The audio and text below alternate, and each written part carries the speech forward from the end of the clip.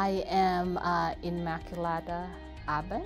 Uh, a lot of people call me Chichi, and if you're a biostatistician, you can call me Chi-Square. I've been here since 2004. I do collaborative research as well as statistical methods research. All of this will be important in public health because especially with, at least in the area that I'm in where I do a lot of clinical trials, is you know, looking for the best treatment that would um, help people get better. I also do a lot of analysis of observational data and epidemiological data, which um, would be helpful in just trying to understand the natural course of a certain disease. I'm getting into the analysis of imaging data. A lot of my doctoral students have been working on imaging data, and I would like to continue that because I think there's still a lot of statistical problems, methodological problems that can still be done in the area of um, imaging data. We cannot answer all the questions by ourselves, and so we have to have a team, and so that's where biostatisticians come in because a lot of the research need a biostatistician. So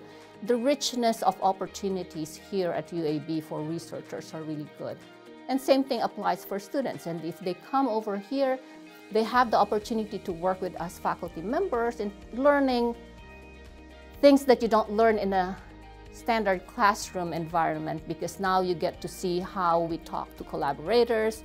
If they're interested in getting into statistical analysis supervised by faculty members, they can even, even get a co-authorship before they graduate. So the opportunities that we have available in learning in the classroom as well as outside the classroom are great for our um, prospective students. We want to make sure that we give enough attention and a little bit more personal. We know all our students so that we can give them the right guidance um, as they go through the uh, graduate program.